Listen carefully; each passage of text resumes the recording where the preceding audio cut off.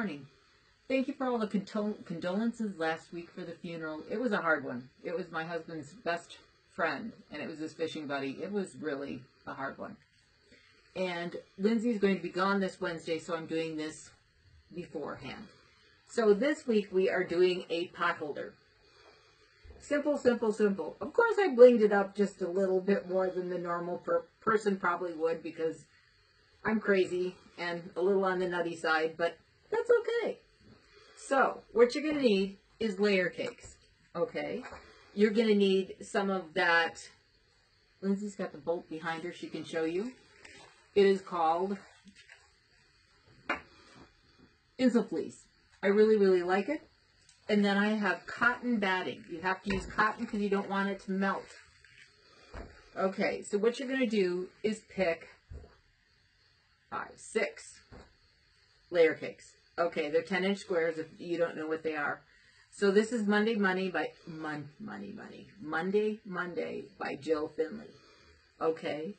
Lindsay just went to the bank, so that's what I'm thinking. Sorry guys, I get a little flaky. So what you want to do, of course this all goes together, is you need one for the back. And so I'm using yellow thread, so I'm going to use yellow. Okay. Then what you're going to do is you're going to put, you want your metal part of your insul fleece down because that's where you're going to touch whatever's hot. Then you want to put on your cotton batting, okay? Okay, that's one little part. You can move all this stuff over here and start your mess over on this side. Okay, then you need one piece you're not going to see, which is underneath here. But if somebody's going to look in peekaboo, you're going to have a piece under there so it doesn't look crappy. So pick a piece that you're not going to really care if anybody sees. So I'm going to pick, I have bolts of this. So I'm going to put this underneath. Okay. Then what you're going to do is you have to pick four pieces and you're going to fold them in half. Remember directional. And it's got to go with this and it's got to go with this because I've already made it. What I did was this is my three quarter inch mini points and then I made three quarter inch scallops for the other one. And then I've got my purple 3 8 inch bias tape. Okay, so you need four. So let me just grab four that go really well together. And it's got to, of course, go with this. Remember the directional, because before I wasn't thinking, and I kind of made a mess. Okay. Let's go with, well, let's go, you know what? I haven't used this one. So remember directional. And you're going to fold them in half, so you need four that go together. So let me use, for some odd reason, I really, really, really like this. I think it's just cute as a bed bug in a rug. But I love checks, I love stripes, I love anything that's a little wild. Okay, this is directional too. But I think I'm going to take, you know what? I gotta use some peach because I decided to use peach.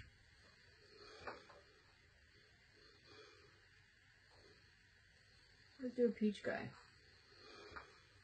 And then let's do another. Just want to make sure you like them all together before you fold them all.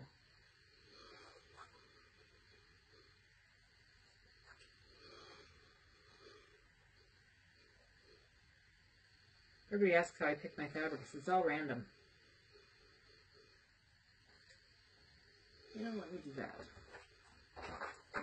Here. Let me see if I like all these together. You're not going to see this one. Yes, I am messy. Yes, yes, and yes. I am very messy. I used to be a clean freakoid. That's gone in the wind.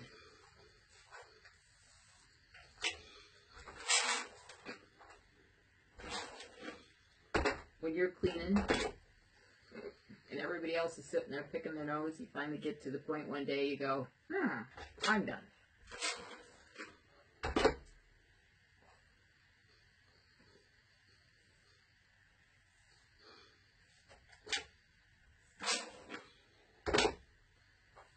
so, because this is directional, and you fold them in half.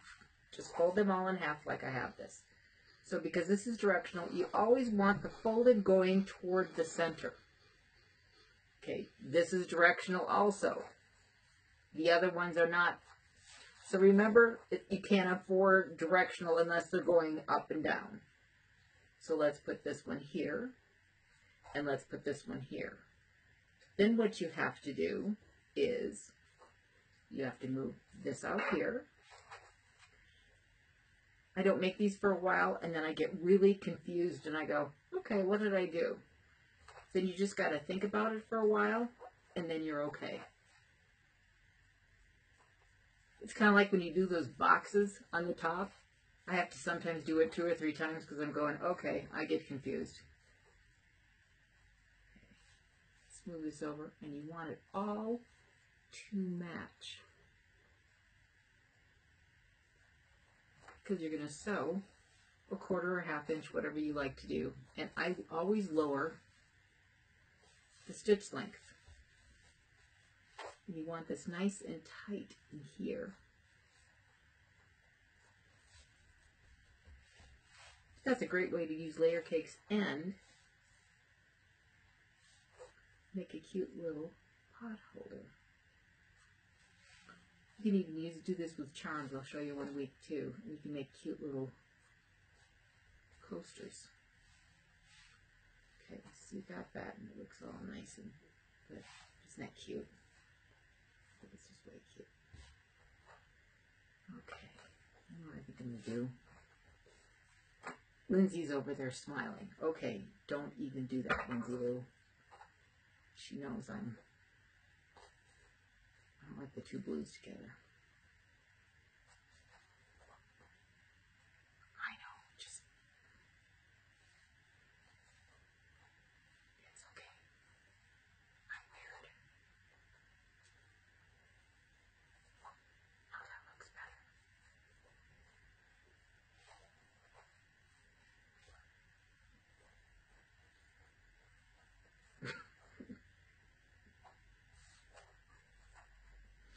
Okay. Now I'm confusing myself. Me start all over.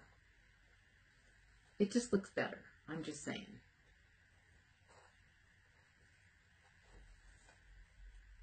Don't you think? See, she shook her head yes. She agrees, so I'm not going to get into trouble.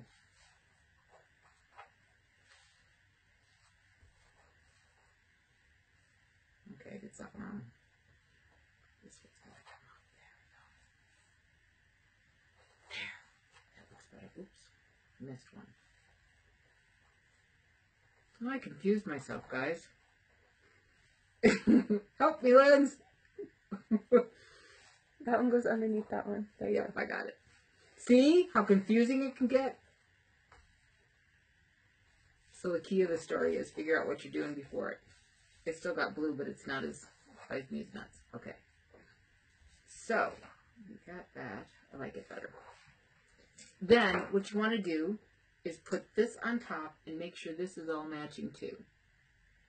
Then sometimes I like square pot holders and sometimes I don't. For some odd reason, this one a lot of times I'll make rounded corners.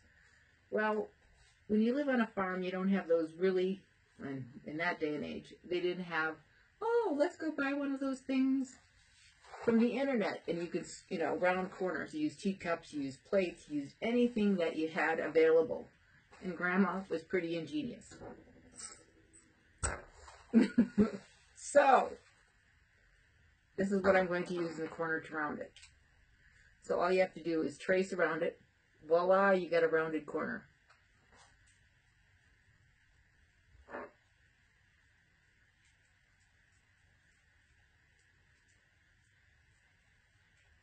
Okay, and put it in every corner.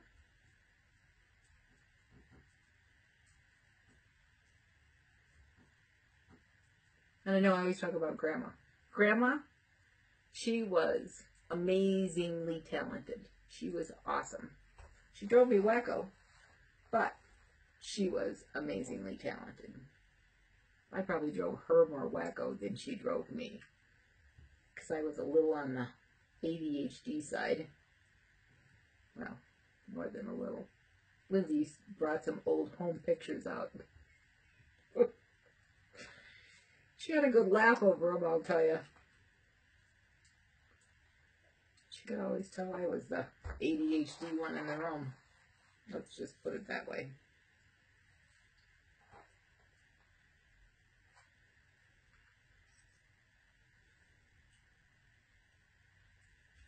Then I'm using the Bernina today, and I have on my walking foot or IDT foot because I just like the fact that it's going to be the feed dogs and everything's going to be even. And then once again, I'm the pin queen as usual. Just make sure everything is lined up. Well, I hand it to people that can do it without pins. Not one of my better attributes. I think it's from doing clothes sewing. Because if you were off, you got to do it again and again and again and again. Okay, got it pinned. Also, because I tend to be watching TV sometimes or a movie, and I kind of go, I get focused on something other. You need to leave an opening so you can turn it. So I'll mark the opening squirrel. So I'll mark the opening so I remember to do the opening because sometimes I'll be sewed away, sewed away, and there is no opening. So I'm going to sew this. Drop the stitch length to a two. Always back stitch. I'm going to do a little over a quarter. I got the walking foot on it. Of course, I'm going to go around the curve, take out the pin.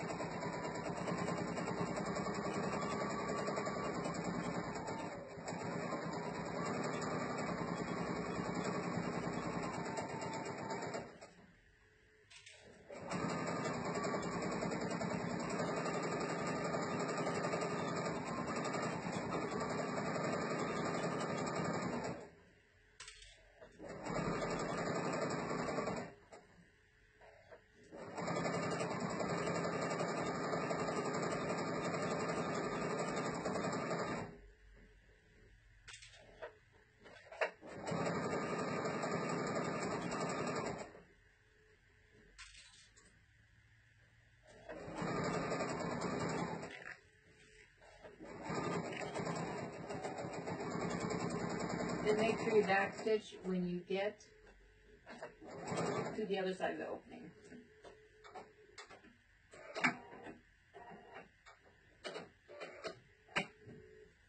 And then make sure it's sewed all the way around and got everything.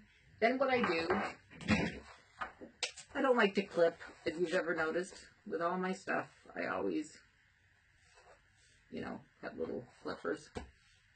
I'm going to cut it really close to the cutting line. Put on glasses, it would help. And then you can just turn it. That's the beauty of it. Without having to clip, pink it, and all that stuff. I just want to have it done. In one quick, easy swoop.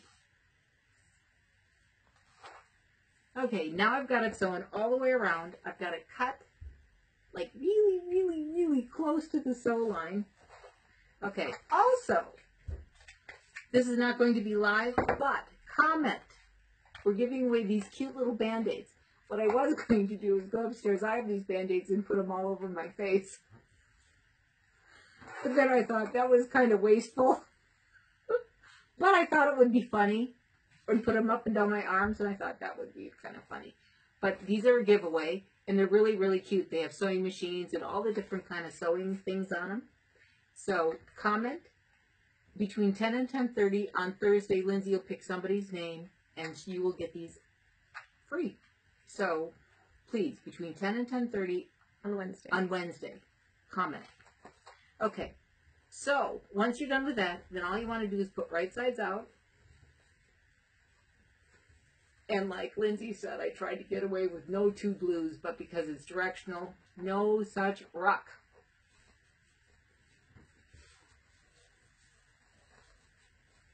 But, you know, you always can try.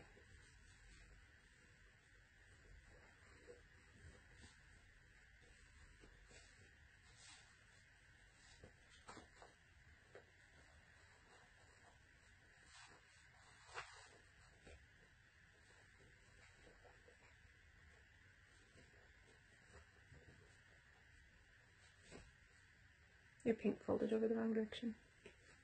Yep, yep, yep.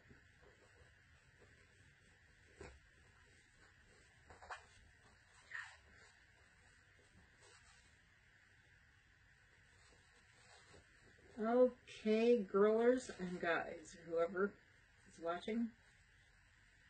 Then, what you want to do is push out all the corners. Then, when I straightened up something upstairs, it's amazing what you can find.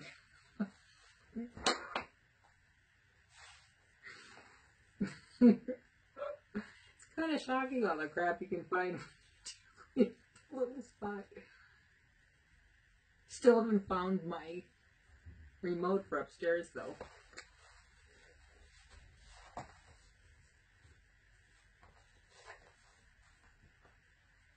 So, because I don't want to take the time and pin it and all that stuff, well, I will. I won't take all the time, but I'll put it all out. Then what you're going to do is this little guy, you're going to fold in a little over a quarter so it matches. Let's iron this little guy. Actually, it's pretty darn good.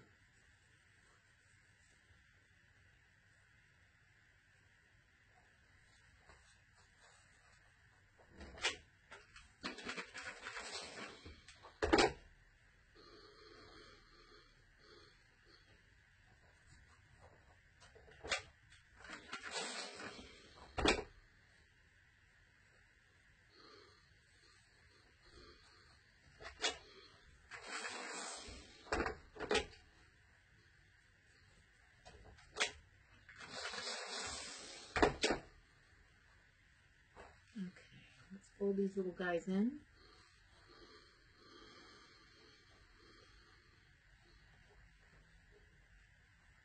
And then what you're going to do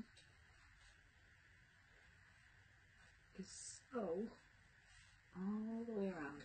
Make sure this is good. It'll drive me nuts if it's not.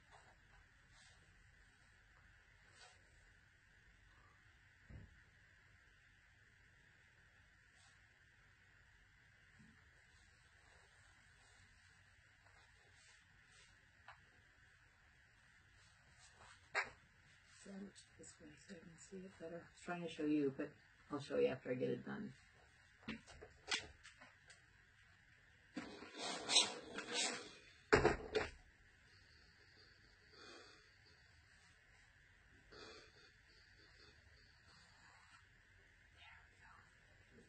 Wunderbar, guys.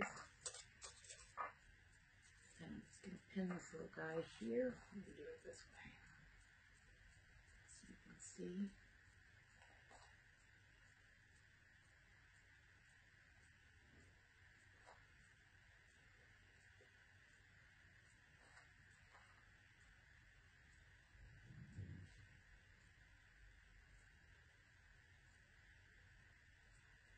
I got this cute little dog. Her name is Harley, and she's madly in love with Lindsay's wiener dog.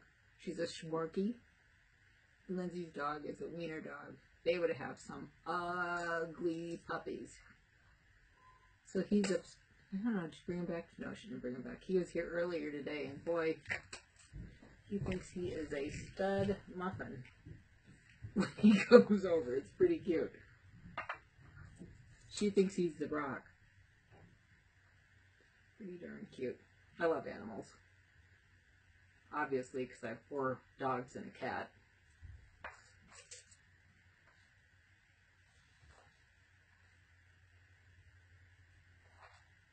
Probably the influence of living on a farm kind of rubbed off a little more than it should have. Okay, then I'm going to sew all the way around. I'm going to move my stitch length to about a three.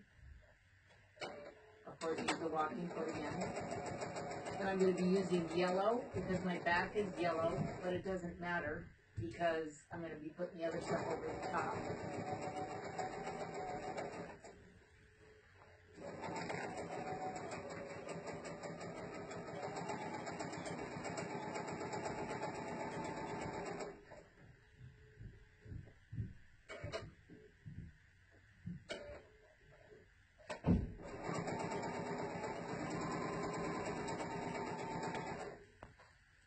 Okay, so I got the sewn all the way around. I'll cut off the little boobies in the back. Okay, so now what we're going to do is we're going to make your three quarter inch scallops. I've showed you many, many, many, many, many times. Then to gather it, and okay, let me back up the truck for a minute. So you do it like you do, and I did one and a half times the width of fabric. So it would be 40 plus another 20 inches. Because this one I did two times around. You know, so it would be 40 and 40, 80 inches around. So I wanted it really tight and really like, holy moly, smoly holy, okay? But this one I don't want as much.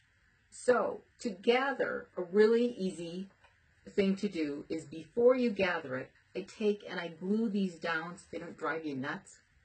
The opening, so I take glue and I glue both sides of this. I glue it, then after I'm done gluing it, then I iron it. So that these little guys don't pop up and drive you wacko. Okay, then another easy way to gather is put your tension on an 8 or 9, your stitch length on a 6 or a 5, seven, whatever your machine works the best at. If your thread keeps breaking or comes undone, you know, change your tension or change your stitch length. Your machine will tell you what works best for it. Make sure before you start gathering, you take and you start on a piece of fabric to go so both your bobbin and your top threads are out. So you have threads to grab onto. Okay? Then all you have to do is gather it. It's awesome. I'll find the easiest way and the laziest way to do anything. My hair, anything. Because why not? Okay? Then this is going to go on here. Okay, so you want to put it all the way around. It's not going to be as gathery as this a lot of times what I do before I start a project is I'll mark exactly four times all the way around. This doesn't have to be as picky because it's not going to be, this is just something you're going to have at home. You can give it as a gift and hopefully the person you give it to is going to sit and measure and make sure you have it perfectly measured all the way around. I wouldn't think anyways. I think they'd be so thrilled to have a cute little pot holder like this. Okay, so then, after you're done with that, what you need to do is, okay, gather the whole thing.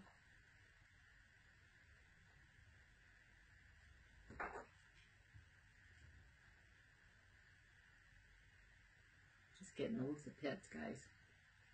Also, make sure you remember the band-aids. okay. Okay, so you're going to put this on. All the way around. Okay, like I did this. Then you're going to sew it down with a decorative stitch. Okay, all the way around. You can use the peach in the top, and you can use the green in the bottom, whatever you would like to do. Okay?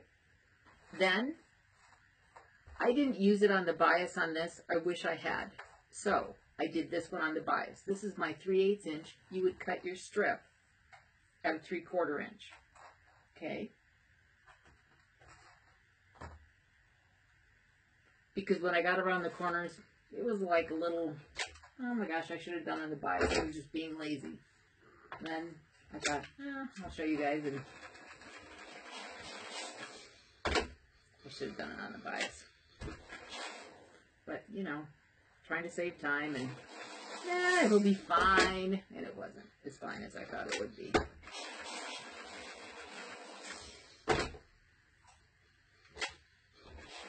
I'm showing you how to do this. You just take your little bias tape maker, put on a whole lot of spray starch.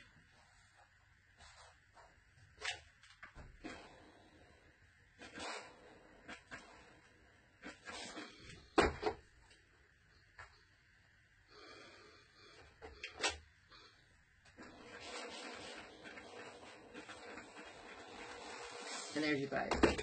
Okay. Then what you do with this is once you're done, I cut off the end, then I take my glue and I make sure. Okay, glue work. The other one did. Probably. I left it open or something.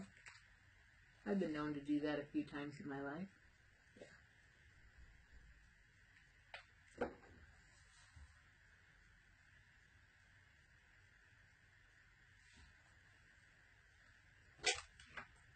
You don't want a raw end starting. Put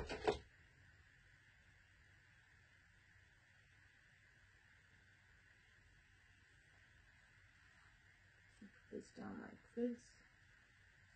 Couldn't find my stiletto today either. It is someplace around here. I was like, dang, I can't even find my stiletto. So then after you have it all sewn down, then all you have to do is put this on top of this and that I glue all the way around. Okay? And then when you're done, then I take and I sew on both sides of this, and then it looks just like that. And I use both the three quarter inch scallops and the three quarter inch mini points, and it just looks just adorable. I think it's darling. Easy, simple, wonderful. And if you want to make a loaf of bread, rock and roll. And that's a really cute gift to give to some neighbors or friends or somebody's birthday. God bless. Have a wonderful week, and we'll see you next week.